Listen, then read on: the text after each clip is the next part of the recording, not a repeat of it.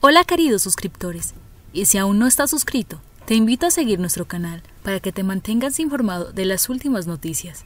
Yo no he renunciado a la crítica ni a la oposición. Esto dijo Rodolfo tras reunirse con Petro. Esa fue la segunda reunión que sostuvo el mandatario con el ex candidato presidencial. Esto fue lo que dijo. La agenda política de Rodolfo Hernández se sigue moviendo. Después de presentar finalmente la renuncia oficial a su curul ante la Secretaría General del Senado, el ex candidato presidencial asistió a una reunión con el presidente Gustavo Petro. Esta no sería la primera vez que se reúne, luego de la derrota en las urnas. Hernández visitó al presidente electo en la Casa de Nariño, donde se le vio sonriente y con una cara amistosa. Posteriormente, el ex candidato presidencial publicó en su cuenta de Twitter un mensaje en apoyo al cambio durante el gobierno Petro. Las cámaras del encuentro captaron el momento en el que Petro y Hernández se dieron un apretón de manos y un abrazo que dejó ver su cercanía. El exalcalde de Bucaramanga aseguró que le afirmó al presidente electo Gustavo Petro su compromiso para formar parte del acuerdo nacional que propone y planteó que espera que ese acuerdo conduzca a un cambio real en Colombia. En esta nueva cita, Hernández se le vio solo ante los medios de comunicación afuera de la Casa de Nariño. Sobre la reunión que sostuvo con el mandatario, dijo que ya su renuncia estaba radicada,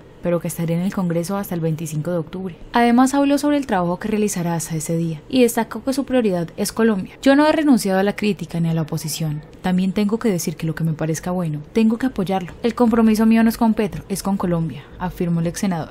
Durante la intervención, Hernández también reconoció que las encuestas nunca pronosticaron su victoria y que llegó a repuntar de milagro. El ex senador también se refirió a su paso por el Congreso. Mi conciencia está tranquila, hice todo lo posible. Seguramente a juicio de muchos colombianos dicen que me faltó, seguramente. Mis fuerzas y mis capacidades llegaron al máximo. Me entregué a Colombia. Pero ¿qué piensan ustedes? Háganmelo saber en la caja de comentarios. Hemos llegado al final de este video. No olvides suscribirte, darle like y compartirlo en tus redes sociales. Esto me ayudaría mucho para seguir subiendo este tipo de contenido.